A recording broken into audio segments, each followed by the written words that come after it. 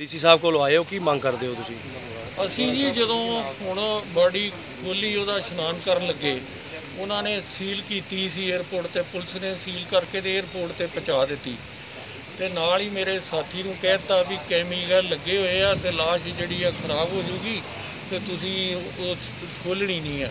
ਇਹ ਉਹ ਪਰ ਅੱਜ ਜਦੋਂ ਅਸੀਂ ਉਹ ਖੋਲੀ ਲਾਸ਼ ਤੇ ਉਹਦੇ ਫ੍ਰੈਕਚਰ ਸਨ ਉਹਦੀ ਬਾਹ ਵੀ ਟੁੱਟੀ ਹੈ ਜੀ, ਮੋਢਾ ਵੀ ਟੁੱਟਿਆ ਤੇ ਟਾਰਚਰ ਦੇ ਛਰੇਆਮ ਨਿਸ਼ਾਨ ਆ ਦੁਬਾਰਾ ਅਸੀਂ ਐਪਲੀਕੇਸ਼ਨ ਲੈ ਕੇ ਆਏ ਆ ਵੀ ਉਹਦਾ ਦੁਬਾਰਾ ਪੋਸਟਮਾਰਟਮ ਕਰਾਇਆ ਜਾਵੇ ਬੋਰਡ ਕੋਲੋਂ ਤੇ ਵੀਡੀਓਗ੍ਰਾਫੀ ਕਰਾ ਕੇ ਤੇ ਦਿੱਤੀ ਜਾਵੇ। ਨਾ ਸਾਨੂੰ ਉੱਥੇ ਪੋਸਟਮਾਰਟਮ ਰਿਪੋਰਟ ਦਿੱਤੀ ਗਈ ਆ ਨਾ ਸਾਨੂੰ ਐਫ ਆਈ ਆਰ ਦੀ ਕਾਪੀ ਦਿੱਤੀ ਆ।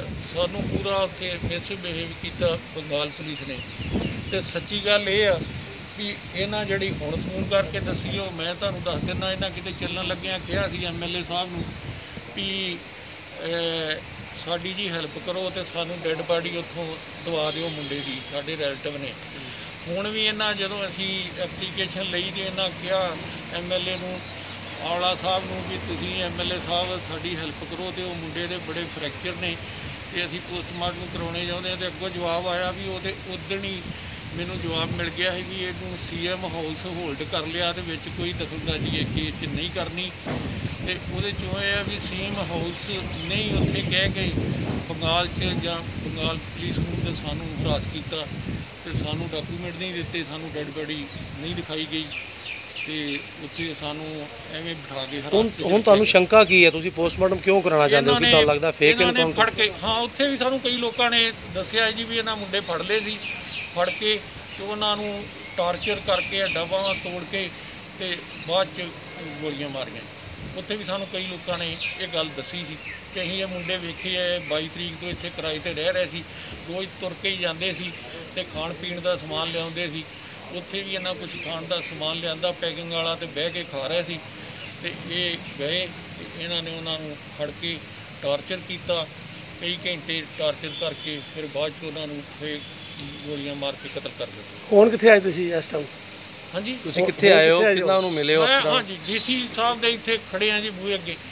ਤੇ ਹੁਣ ਦੇਖੋ ਇਹ ਮਿਲਦੇ ਤੁਸੀਂ ਹੁਣ ਸੰਸਕਾਰ ਦਾ ਟਾਈਮ 2 ਵਜੇ ਰੱਖਿਆ ਸੀ ਕੀ ਹੁਣ ਤੁਸੀਂ ਪੋਸਟਮਾਰਟਮ ਤੋਂ ਬਾਅਦ ਹੀ? ਪੋਸਟਮਾਰਟਮ ਕਰਾ ਕੇ ਫੇਰ ਹੀ ਕਰਾਵਾਂਗੇ ਜੀ। ਅਸੀਂ ਸੰਸਕਾਰ ਬਿਲਕੁਲ ਨਹੀਂ ਕਰਾਂਗੇ ਦੁਬਾਰਾ ਪੋਸਟਮਾਰਟਮ ਕਰਾਵਾਂਗੇ ਤੇ ਫਿਰ ਸੰਸਕਾਰ ਕਰਾਂਗੇ।